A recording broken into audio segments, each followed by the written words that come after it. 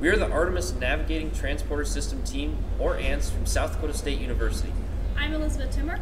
I'm Jacob Petit. I'm Liam Murray. I'm Ben Sobzak. I'm Nick Stegmeyer. The RASC-AL theme we have selected is the Lunar Surface Cargo Transporter.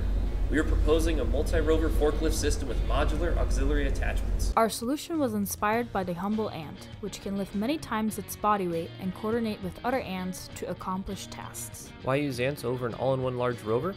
First, the design of a single ant can be compact and light, saving valuable volume and mass on a trip to the moon. Second, the ants can work alone to move smaller payloads more efficiently, or simultaneously accomplish tasks such as laying power cables, plowing lunar roads, or cleaning solar panels using a multi degree of freedom arm.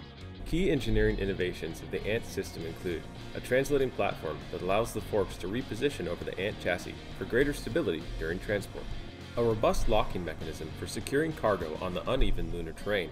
The locking mechanism utilizes two sets of movable claws to clamp onto fixtures beneath the cargo.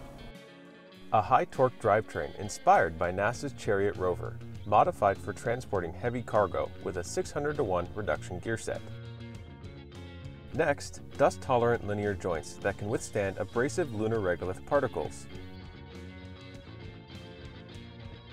Finally, the use of a NASA RASSOR inspired concept as a regolith counterweight to balance the heaviest cargo. We have already completed one of our demonstration prototypes. The mechanism is independently driven by linear actuators, as presented in our proposal.